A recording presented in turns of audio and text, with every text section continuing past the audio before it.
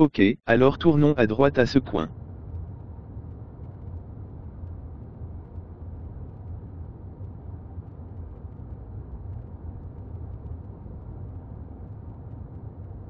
En venant ici, maintenant, cette intersection est en train d'arriver est une intersection non contrôlée.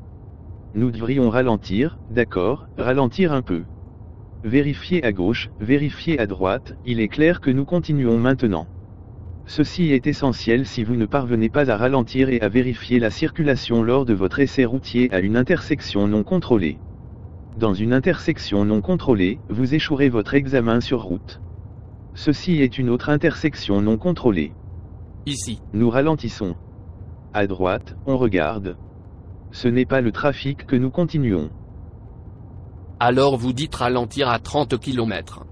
Cela dépend de la vitesse à laquelle vous roulez en ce moment. Réduisez simplement la vitesse. Assurez-vous que votre pied est sur le frein. Prêt à arrêter. Bon, ce n'est pas forcément exact. D'accord. Ce n'est pas forcément exact. Dans une intersection non contrôlée, vous ralentissez. Vous n'avez pas besoin de regarder votre compteur de vitesse tant que votre véhicule ralentit. Vous vous concentrez sur le frein et vous êtes prêt à vous arrêter. D'accord. Nous voulons nous concentrer sur la route et non sur le compteur de vitesse à ce moment-là. Nous allons tourner à gauche au stop. N'oubliez pas de quitter la route des yeux pendant plus d'une seconde. Une seconde c'est trop long, c'est une seconde de trop. Donc, chaque fois que vous avez besoin de regarder quelque chose loin de la route, faites-le rapidement. C'est juste un coup d'œil rapide. Une seconde pour vérifier votre rétroviseur, une seconde pour vérifier votre compteur de vitesse que vous connaissez ou tout ce que vous devez regarder en plus de la route principale devant vous. Je vais tourner à droite au panneau d'arrêt, vous déplacer sur la voie de droite et effectuer un changement de voie approprié chaque fois que vous vous déplacez d'un espace à un autre en dehors de la route. Il n'y a pas d'exception, donc je change correctement. Vous devez vérifier votre miroir, indiquer le contrôle de l'épaule. C'est un bon changement de voie.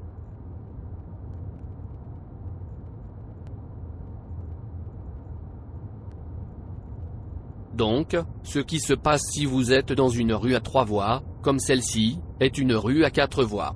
À peu près comme si c'était une route plus large sur une rue à trois voies, vous avez des voitures garées des deux côtés, puis vous êtes au milieu et s'il y a une voiture venant en sens inverse, que faites-vous? Bien, c'est partager la responsabilité, n'est-ce pas?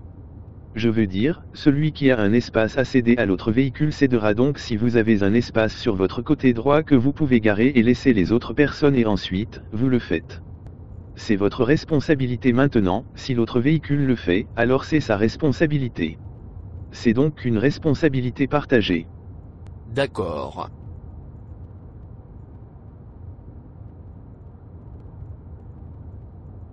Ainsi, partout où les quatre voies s'arrêtent, en venant ici, comme vous pouvez le voir, il y a un panneau en dessous. Le panneau d'arrêt vous indique qu'il s'agit d'un arrêt à quatre voies, ce qui signifie que chaque coin est un panneau d'arrêt.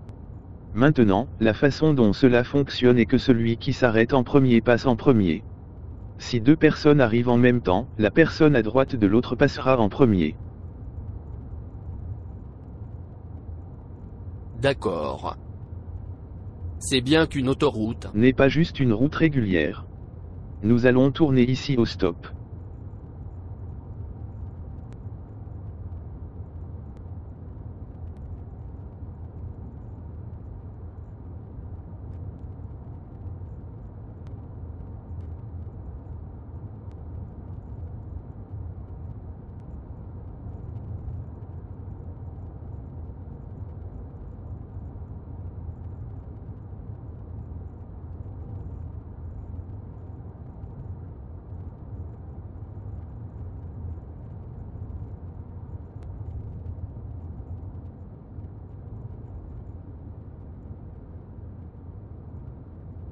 Donc, c'est l'un des soi-disant feux de signalisation pour piétons.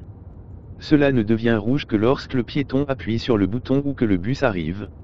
Et comment savez-vous, comme celui-ci est un feu de signalisation pour Parce piétons que ce n'est qu'un seul feu de circulation.